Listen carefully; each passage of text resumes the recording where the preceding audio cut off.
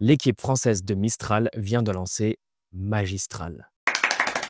Un nom qui est plutôt bien trouvé, mais surtout une nouvelle étape dans leur stratégie. Après avoir marqué les esprits avec leur modèle open source, rapide et efficace, Mistral s'attaque à un défi autrement plus complexe, celui de faire résonner une intelligence artificielle. Deux nouvelles versions sont sorties, Magistral Small, open source, 24 milliards de paramètres, sous licence Apache 2.0, et Mistral Medium, une version plus puissante, pensée pour les entreprises, disponible dans leur chatbot, le chat ou le chat, ou via une API. Mais alors, que promettent ces nouveaux modèles? Eh bien, un raisonnement plus clair, plus structuré, multilingue et surtout transparent. Ils ne vous donnent pas seulement une réponse, mais aussi une explication de la réponse. Comme vous le savez, Mistral n'est pas le seul sur ce terrain. D'autres comme OpenAI avec ChatGPT 4o, DeepSeek R1, Claude 3 se positionnent déjà sur ce qu'on appelle les reasoning models. Mais attention, le terme raisonnement reste encore largement symbolique. Comme le rappelle Apple dans une étude récente, ces modèles ne vont pas raisonner comme un humain. Pas besoin de vous rappeler qu'ils n'ont ni réelle compréhension ni conscience. En revanche, leur façon de générer des réponses s'approche du raisonnement pas à pas, ce qui les rend beaucoup plus fiables pour des tâches complexes. Et c'est là que Mistral essaie de se différencier. Une chaîne de pensée qui est visible et vérifiable, utile en droit, en finance ou en médecine,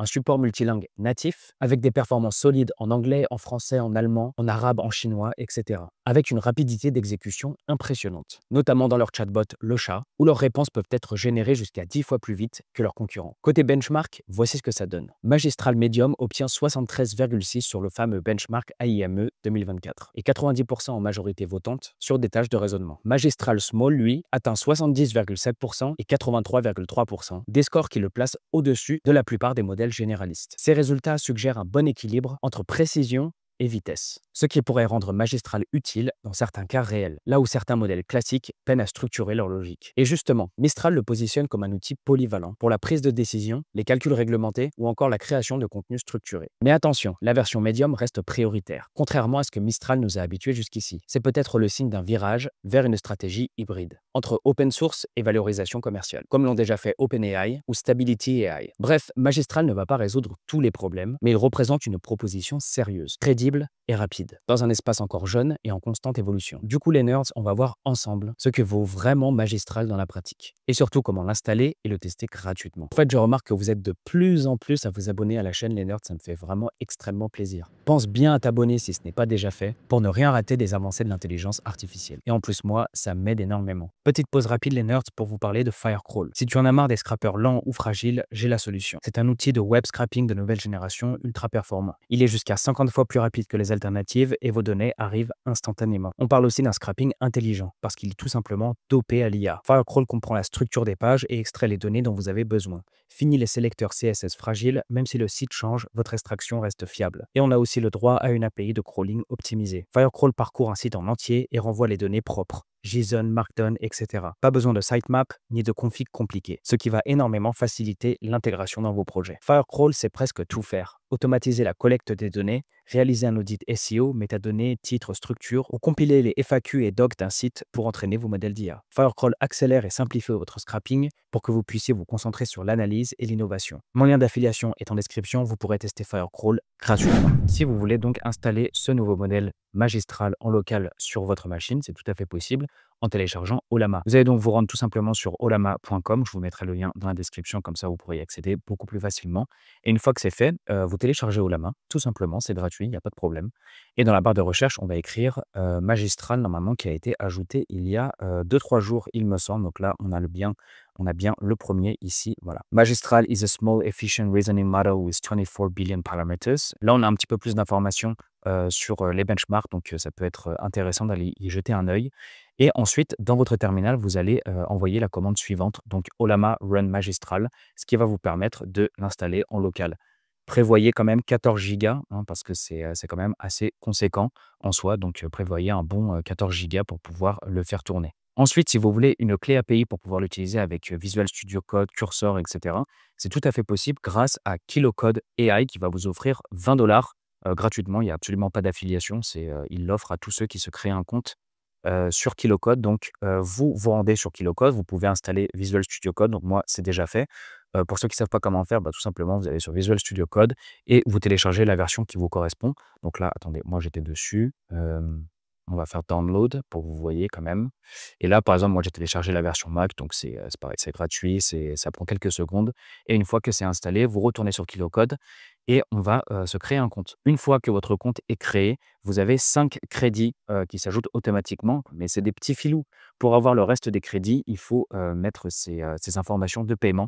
Donc votre carte bancaire, ils vont vous prendre 10 dollars, je crois, et ensuite ils vont les garder pendant un certain temps et vous les rendre par la suite, mais vous aurez accès aux 20 dollars gratuit pour faire vos tests. Donc ça fait beaucoup de tests quand même avec la clé API sur Visual Studio Code. Une fois que tout ça c'est fait, vous avez récupéré votre clé API. Attendez, je vous la montre. Normalement, elle est tout en bas. Donc voilà, moi c'est la mienne. Elle est ici, la clé API. Vous allez sur Visual Studio Code que vous avez installé et on va paramétrer tout ça. Donc dans un premier temps, on va aller dans Extension sur le côté et on va écrire Kilo Code.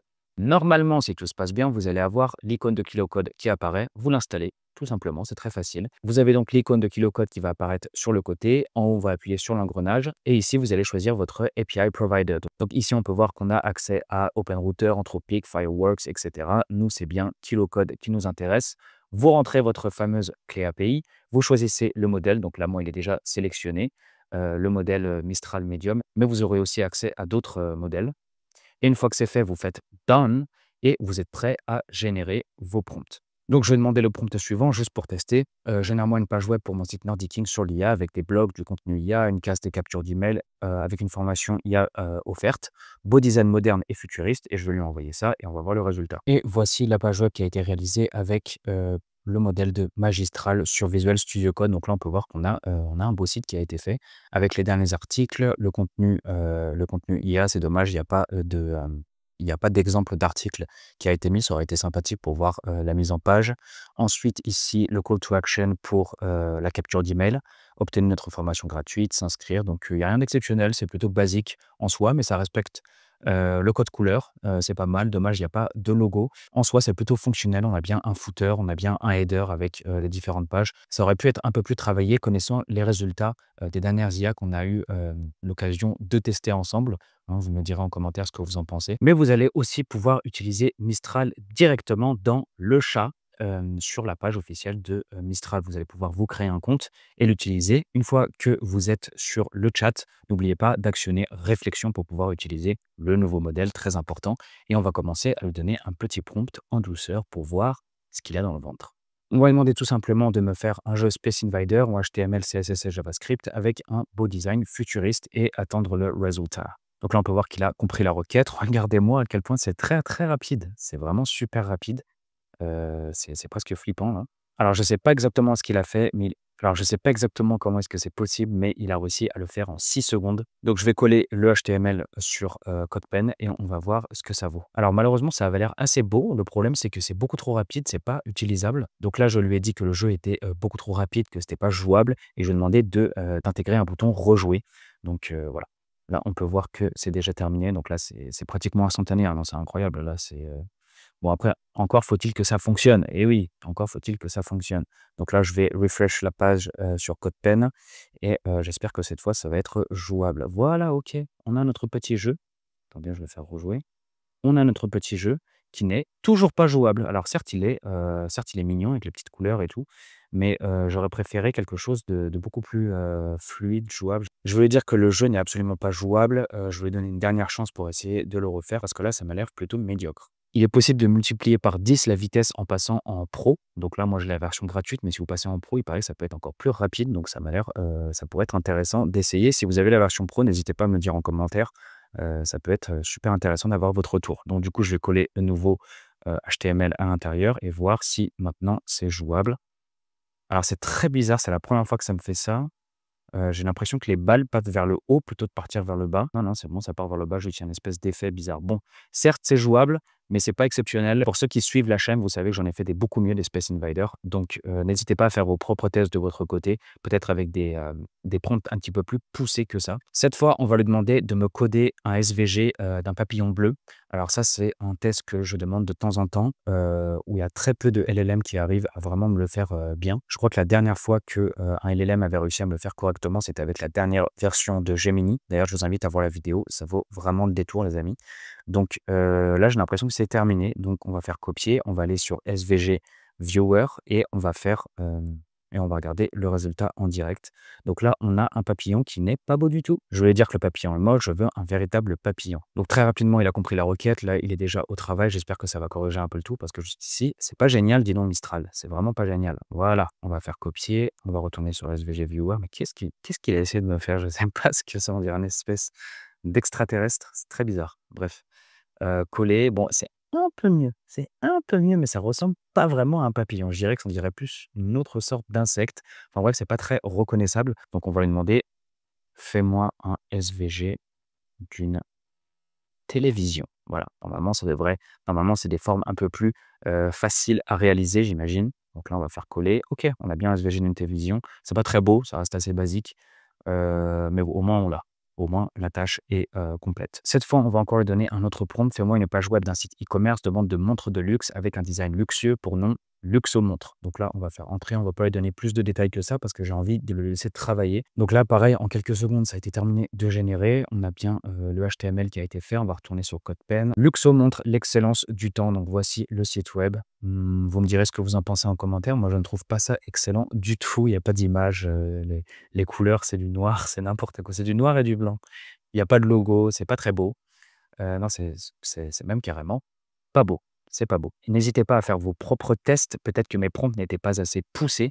c'est tout à fait possible. Et dites-moi ce que vous en pensez en commentaire. Dites-moi quels sont vos résultats. Ça peut être assez intéressant de les comparer.